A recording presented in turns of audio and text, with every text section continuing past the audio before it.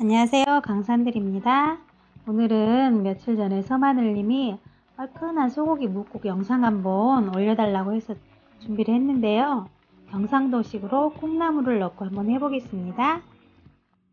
일단 소고기는 저는 지금 냉동실에 있던 거를 꺼낸 건데 이거를 이렇게 먹기 좋은 크기로 잘라 가지고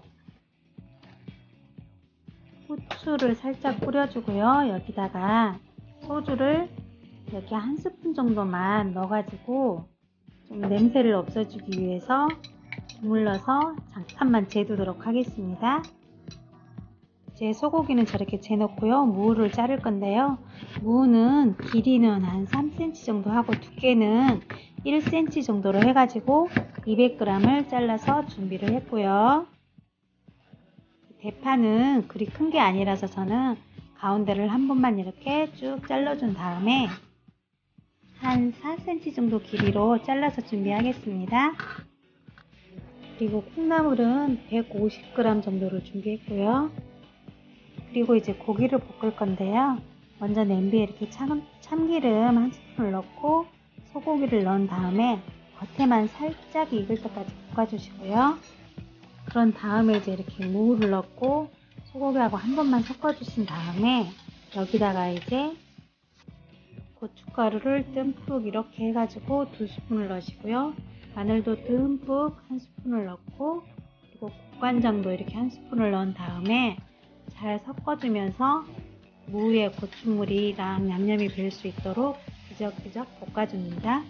불은 꼭 줄이고 하셔야 돼요. 고춧가루 타면 나중에 쓴맛이 나기 때문에 불은 꼭 약불로 하셔가지고 이렇게 볶아주신 다음에요.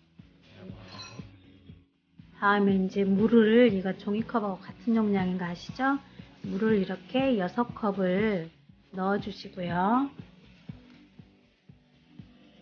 그리고 무하고 고기는 볶을 때 완전히 안 익혀도 되거든요. 어차피 또 끓일 때 익으니까 그냥 적당히 양념만 배울 수 있도록 하시고요.